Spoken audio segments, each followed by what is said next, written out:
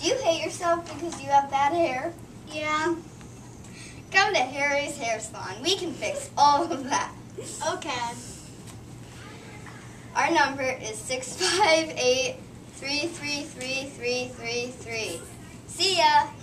Oh, come on. I want to get my hair cut right now.